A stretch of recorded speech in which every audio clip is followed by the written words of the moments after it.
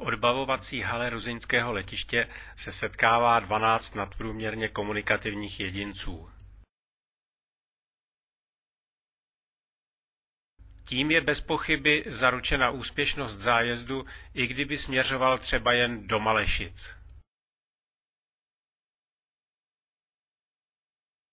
Mašinka nemá ani řidiče, ani strojvedoucího, ani výpravčího, ani průvodčího, jede prostě úplně sama.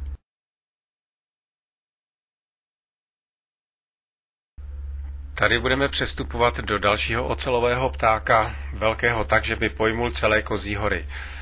V závorce vesnička u Nového Knína.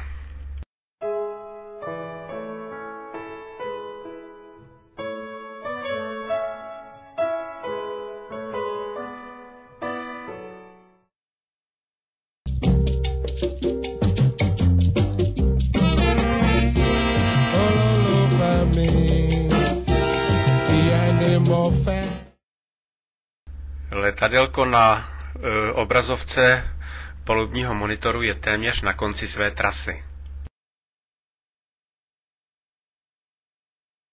První ranní pohledy na vyprahlou africkou placku nebyly příliš povzbuzující. Přistávací manévr je značně složitý. Na Johannesburském letišti zjišťujeme, že k nám patří a čtyři bratia a sestry Slováci a skupina rakouských akvizitorů a manažer Tomas z Vídně. Dál budeme pokračovat až ve 12 hodin a tak se nás ujímá Madlenka z cestovky The Inside Edge. Nastává první příjemné překvapení. Ve VIP salonku je připraven velice dobře vybavený bar. Někteří jedinci zvažují dokonce možnost strávit zde zbytek zájezdu a druží se s letištním personálem. Mediatel Group připravit k nástupu. Volá však nekompromisně letištní rozhlas. Naskakujeme na poslední chvíli.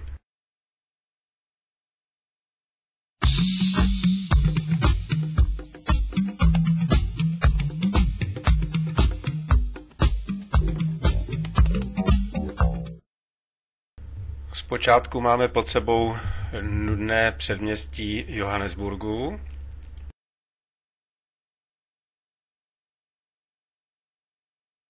zřejmě poněkud eh, přelidněné, ale za chvíli už se krajina musí nutně změnit.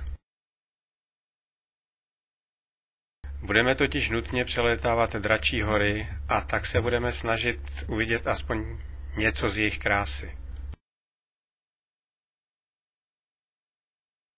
Počasí je zcela srovnatelné s naším v tomto ročním období, jen je trochu teplej a jsou kratší dny. Jsme blíž k rovníku E podzim. Letadlo již zjevně začíná ztrácet výšku a my nedočkavě vyhlížíme Indický oceán.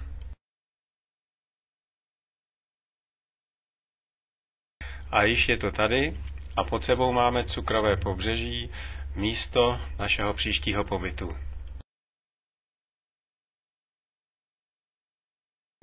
Ještě nám zbývá otočka k jihu a již jdeme na přistání.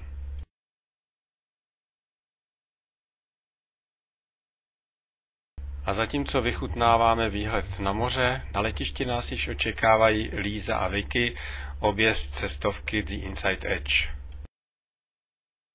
A již je pro nás připraven mikrobus, aby nás odvezl do hotelu, který je zařazen mezi 31 nejlepších hotelů na světě. Náš průvodce původem Rakušan z Kitzbühelu nám dává na výběr restauraci pro zítřejší večeři. V hotelu nás čeká na uvítanou welcome drink a samozřejmě úvodní ňamka.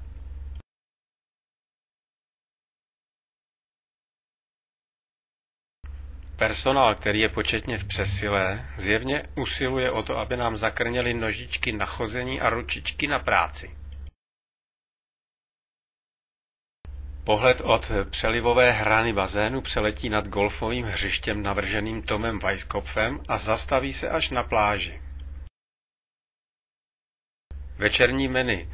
Uzený pštros s bylinkami a lanížovým olejem a krvavé hovězí file z plátky žampionu a šlehanou paštikou z kaštánků.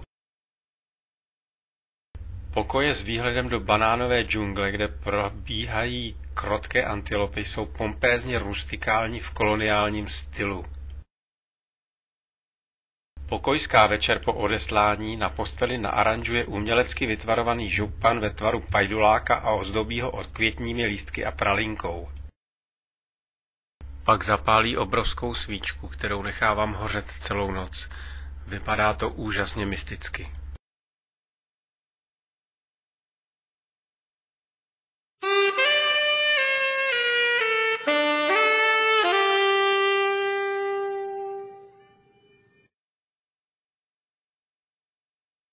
Armáda číšníků nás zve k opulentní snídani, kde nacházíme jídla a pití, která snad ani nedokážeme pojmenovat.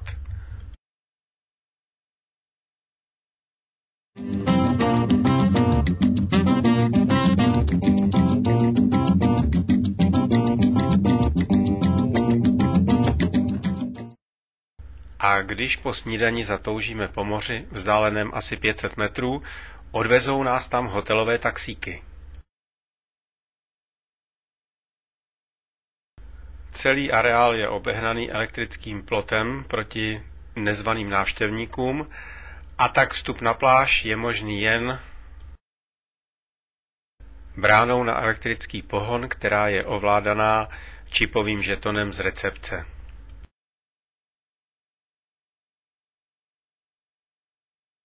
Koupání v moři je tu zakázané, protože tu nejsou ochranné sítě proti žralokům jako u městských pláží. Voda v bazénech není sice příliš teplá, ale za to velice osvěžující a pomůže vytrávit před dalším jídlem.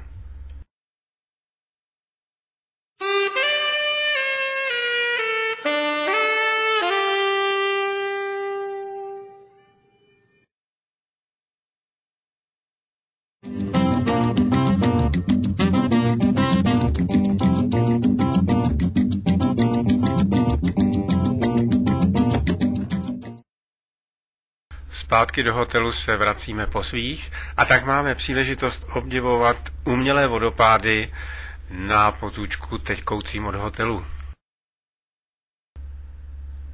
Ranní golfisté objíždějí své greeny v elektrovozících.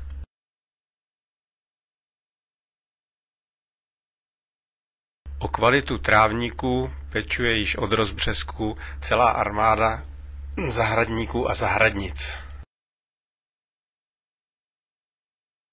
A před odjezdem do Dorbanu mi před chatičkou ještě zapozuje antilopa.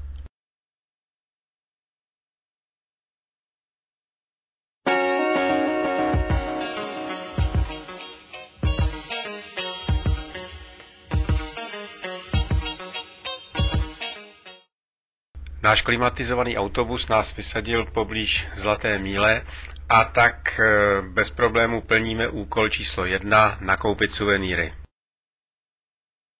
V čele s Věrkou se vrháme k černé stánkařce a za chvíli má každý usmlouvané dvě rumba koule.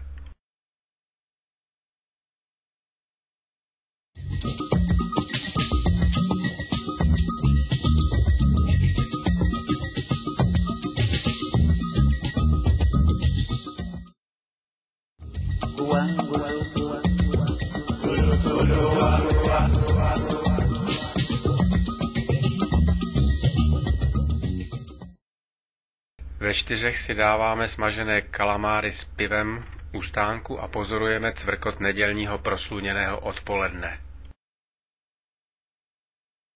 A jako premii dostaneme ještě od pana stánkaře skupinové foto, předtím, než se vydáme autobusem dál do centra.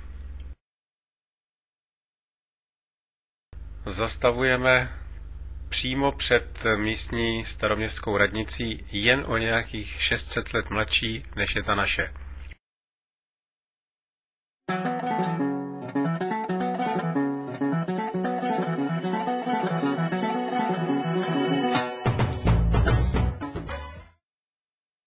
Je pozdní nedělní odpoledne a místní mládež zřejmě vyráží na diskošky.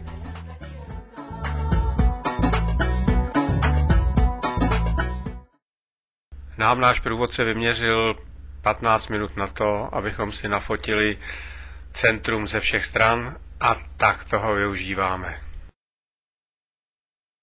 První jsem připlul portugalský mořeplavec Vasco da Gama a pojmenoval to tu Terra de Natalia. Pro město je charakteristická vůně exotických koření, opalovacích krémů, mořského vánku a výfukových plynů. Architektura budov v centru města upomíná typicky na koloniální éru.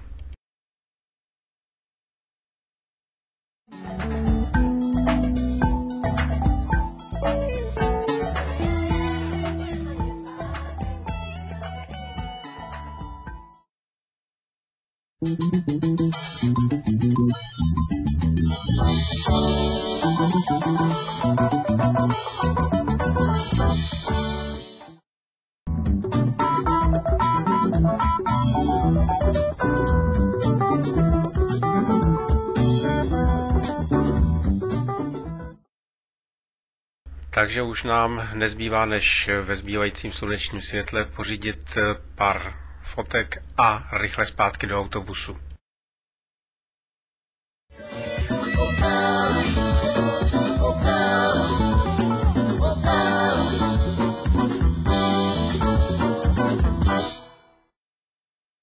Zbytek autobusu strávil čas ve Vilznově přístavu, kde jsou jen hospůdky a butiky.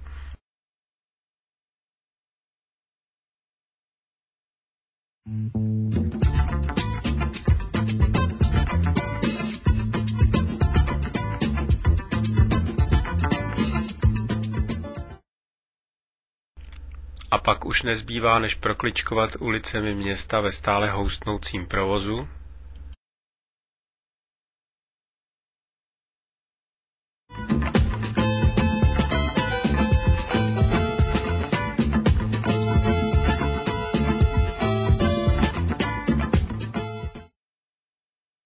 abychom se mohli pokochat vyhlídkou na město z Dorbanského Petřína.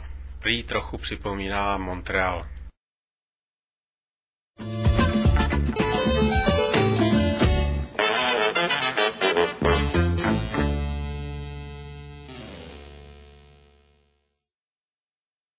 Na hotelu v rychlosti bazén, horká vaná, studená sprcha a už nás čeká restaurant Il Morris v Umšlanga.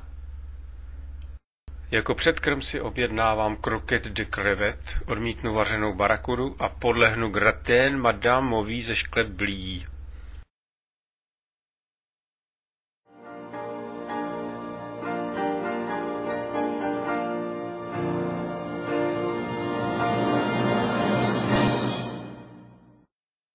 Dnes bude kulturně poznávací činnost. Začínáme krmením v hospodě u čajníku a kotlíku s výhledem na sluncem zalité údolí tisíců kopců.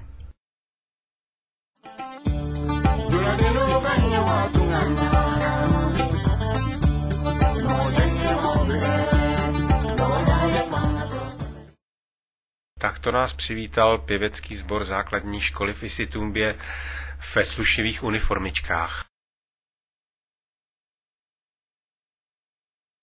Černošská holátka se stávají obětí družebních pudů některých našich kolegyň.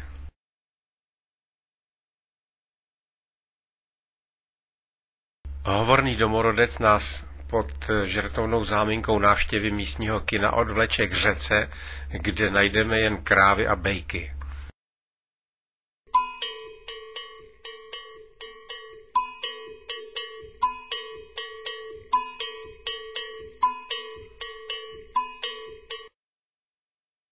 Naučí nás plést věnečky z trávy a zulsky pozdravit Savubona Nema Kozi. Vysvětlí nám rozdíl mezi svobodnou a vdanou ženou. Svobodná nosí prsa venku a vdaná šátek na hlavě. Podle místních zvyklostí platí za nevěstu ženich 14 krav, když není pana, tak o jednu méně. A dál bude následovat podrobná exkurze do vesnice, včetně návštěvy několika okrouhlých chýší. Plechové střechy chýší nepříjemně připomínají cikánské vesnice na Slovensku, podlahu tvoří udusaný jíl. Pravidelný úklid se provádí kravinci rozmíchanými ve vodě, levá polovina chýše náleží ženám a pravá mužům. Zlatým hřebem má být návštěva vesnického šamana, který nám prý za 40 randů odhalí budoucnost.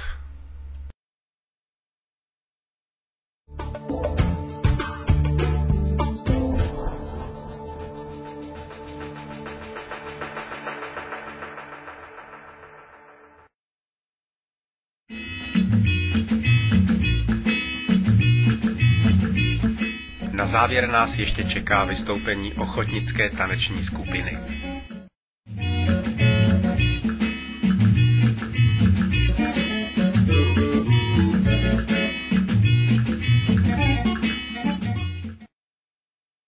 Zpátky na nás čeká autobus na vršku a my jedeme dvěma mikrobusy, protože je tu ukrutné stoupání.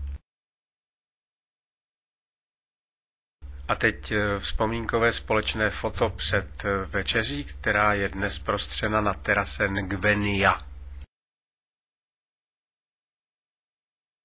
Začíná se předkrmem z hovězího na pepři a kachních prsíček s hlávkovým salátem zalitým dressinkem z bylinek a soji. Hlavním jídlem budou jemná kuřátka nadívaná krevetami na podložce z houbového risota a s omáčkou z mořských korýšů. Ráno ještě poslední zaplavání v milionářském bazénu a bye bye Zimbali Lodge.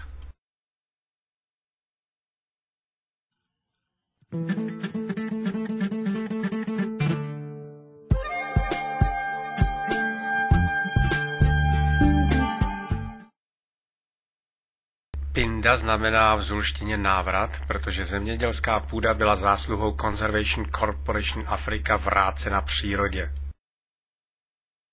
Celá rezervace je obehnána elektricky nabitým plotem, autobus tam nezajede a proto přestupujeme do dvou jeepů, které nás dovezou do hotelu. Po příjezdu se dozvídáme dobrou zprávu. Celý pobyt je all inclusive a začíná se obědem. Obědvá se na verandě, ze které máme bezprostřední výhled na všechna zvířátka pobíhající kolem. Po jídle absolvujeme bezpečnostně poznávací školení od našeho rangera. Jmenuje se Scott a je Scott. Na sedátko levého blatníku každého defendra usedá černoch, stopuje zvěř a mačetou seká větve. V terénu jsou současně tři auta, vzájemně ve spojení vysílačkami, takže zanedlouho se všichni sjíždíme kolem líného geparda.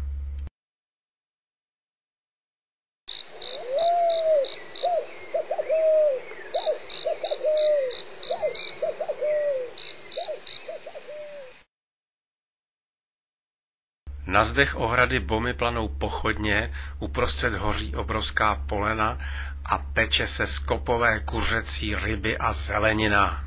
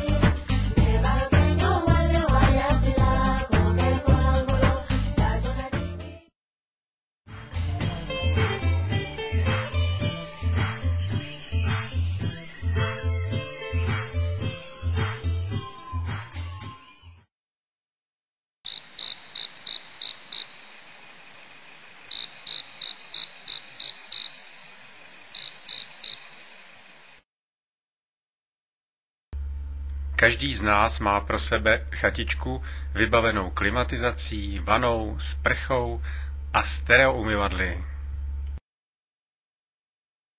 Na verandě visí závěsná síť, jsou tam holinky do bláta, deštník a lednice nabouchaná pitím. Po setmění je zákaz vycházení, je nutno si telefonem objednat na recepci ozbrojený doprovod.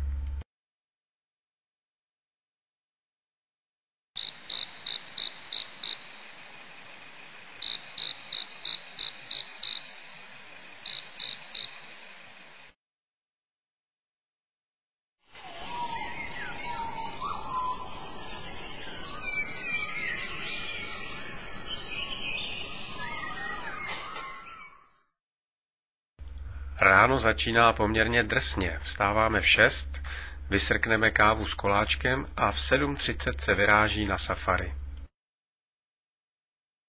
Systematicky stopujeme slony, nosorožce, na závěr taky žirafy a stromovým občas proskočí opice s holým zadkem.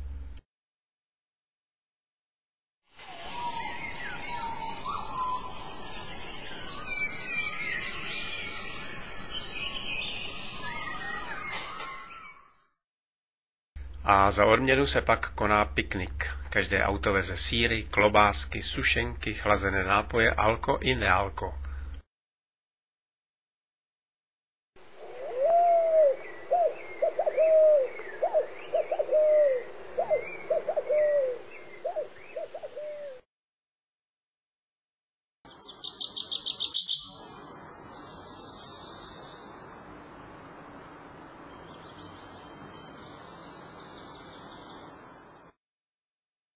Ještě nám několikrát po sobě způsobně zapozuje žirafa a už je čas se vrátit do hotelu na opožděnou snídani.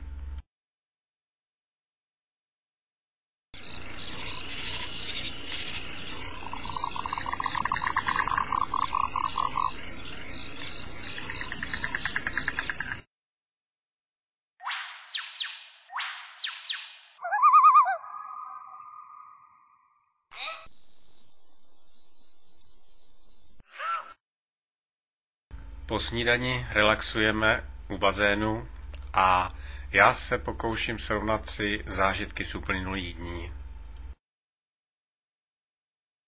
Čekání na oběd si krátíme pozorováním bezstarostně se pasoucích zvířat.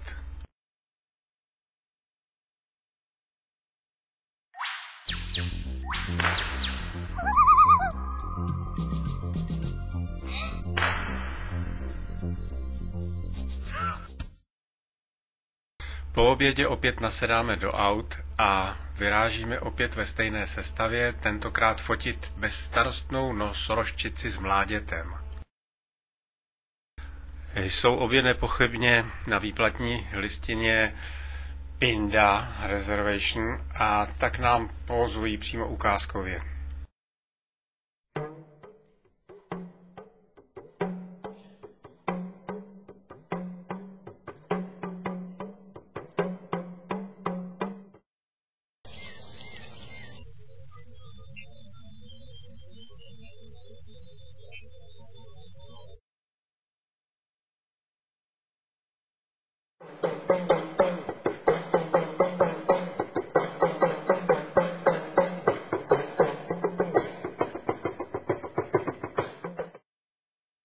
Zlatým hřebem se stala pětičlená lví rodina, rozložená pod stromem bohužel příliš nefotogenicky. Na břehu Mzinene již čeká lodička s občerstvením a záchodkem pro okružní plavbu po líně plynoucí řece. Během plavby upíjíme Monikou připravované mixy, pozorujeme hrochy a závodíme s krokodýlem.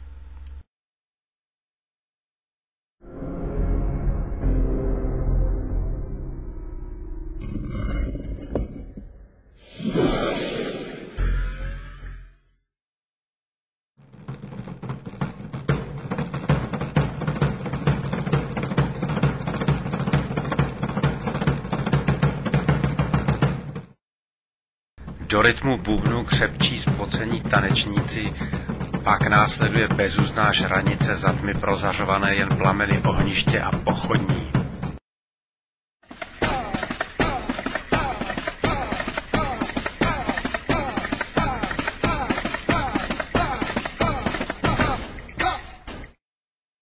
šest ráno se s námi rozloučil žirafí pár, trapem uháníme na letiště a v Turbanu se s námi loučí Líza a Vicky.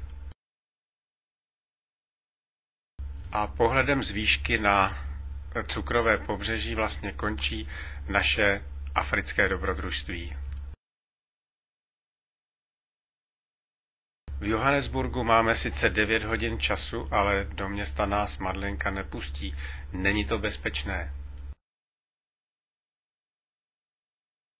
Místo toho nás luxusním autobusem odveze asi kilometr ke kasinu Cezar, kde jsou dva luxusní hotely, restauranty a butiky. Pak nás doveze k obrovskému shopping centru, kde kupuji jako suvenýr sušené syrové nepoživatelné maso biltong a publikaci o Kvazulu Natal. A co třeba přivést si nějaké černožské CDčko na památku.